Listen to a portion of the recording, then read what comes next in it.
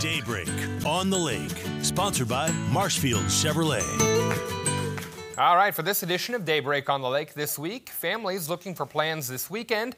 You may want to check out the 42nd annual Kids Fishing Fun Day. It's designed to teach kids how to fish. Rutledge Wilson Farm Park will host the event Saturday. Children can bring their own fishing rod or you can rent one at the park. But the event is free. Registration is required though by this Thursday. That's tomorrow. Got to have that done by 5 p.m. and you can do it on the Park Board's website.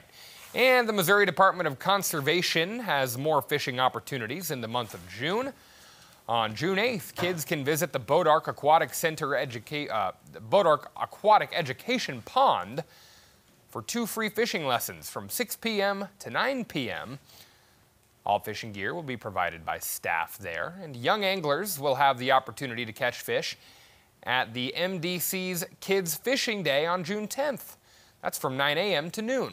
It's at the Belladonna Education Pond at the MDC's Shepherd of the Hills Fish Hatchery near Branson. That event open to anglers age 15 and younger. Good way to get started if you're just learning how to fish out there. And Tom, get you out to a hatchery so you can catch your first fish in the Ozarks. I know, still haven't had any luck. I haven't been out recently, but uh, you know what?